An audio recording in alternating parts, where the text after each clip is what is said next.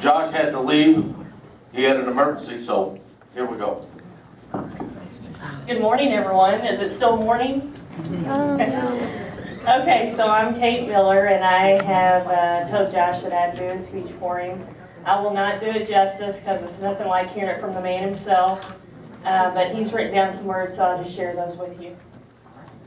Let me start off by saying that, uh, thank you for being such good Democrats and coming out today to keep the democratic process alive.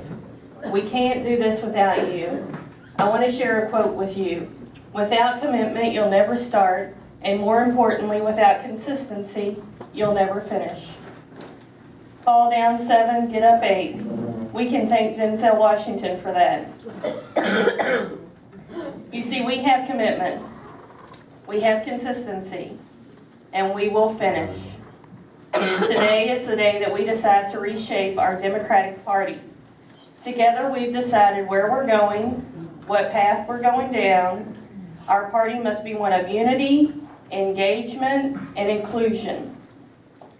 We must invigorate our party with energy and remove this divisive image. We have to have everyone here and everyone out there to move our party forward. Times have changed, and we must change with them.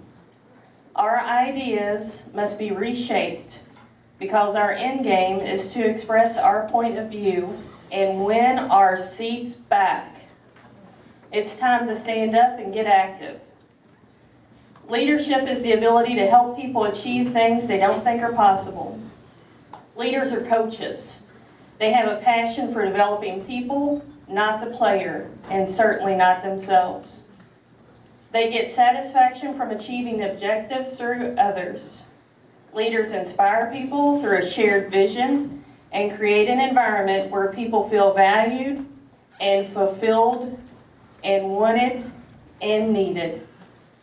It is time for us to stand up and be proud to be Democrats.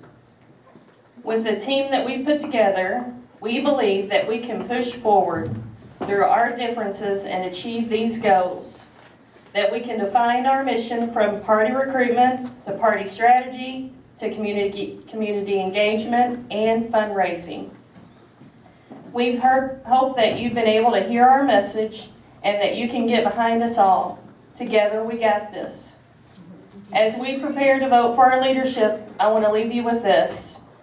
Change will not come if we wait for some other person or some other time. We are the ones we've been waiting for. We are the change we seek. From President Barack Obama. Thank you very much. Josh Rodriquez.